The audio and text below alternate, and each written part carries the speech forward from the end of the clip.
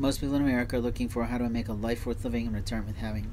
When we do this, we don't think of the once upon a time stories we heard as kids, but some, for some of us, life is that fairy tale where we grow up into exactly who we want to be.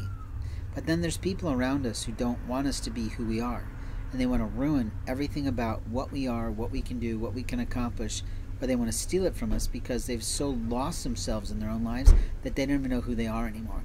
So as a result, their attitude is I'm just going to steal you and be you. And you look at them and go, Really? You think you can do that? Wow.